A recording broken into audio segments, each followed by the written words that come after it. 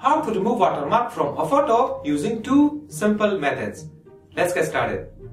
Our first method is using an online service to remove watermark from any image. In this video, I am going to use this website called Apowersoft Online Watermark Remover. You can get to here by clicking on the link in the description below. Once you are here, click on Remove Watermark from Image and select the photo that contains the watermark. Once your photo is uploaded, now drag this box to place where the watermark is located. So in my case, the watermark is right here. After that, click on erase. The software will remove watermark from your photo. Once it's done, click on download. Once your photo is downloaded, just open it. And as you can see, now the watermark is removed. And here's the comparison of before and after. Our second method is using a software to remove watermark from a photo. In this video, I am going to use the software called iMyPhone Mark Go. You can get the software from the link given in the video description below. So just go ahead download and install the software. After installation, open it up.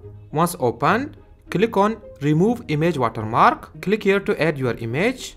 In this video, I am going to use these two wallpapers as an example, but these two methods will work with any kind of pictures that has watermark on it. So after selecting your pictures, open it. This software gives you two options to remove watermark from a photo. The first option is AI removal. If you select this option, then click on remove now.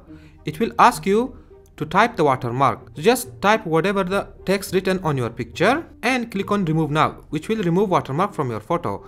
And the second option is manual removal. If you select this option, it will give you three options.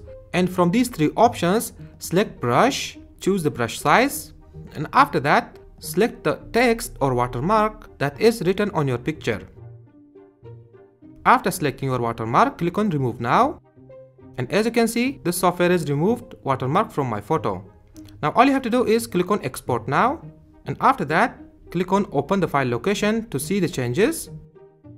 As you can see now this software has removed watermark from this photo. So there you have it guys. That is how you can remove watermark from an image using these two methods. Please let me know which one of these options were helpful to you. Let me know your thoughts in the comment section below. I would love to hear them. And also, if this video was helpful to you by any means, then please give it a thumbs up and share it with your friends. You Your one like and share means a world to me. So thank you so much if you do. And if you want more videos like this in the future, then please subscribe my channel and turn on the notification bell. And I will catch you on the next one. Stay blessed, stay safe. Peace.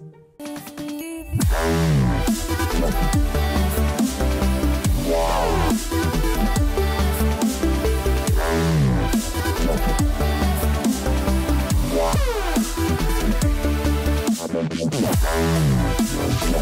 you.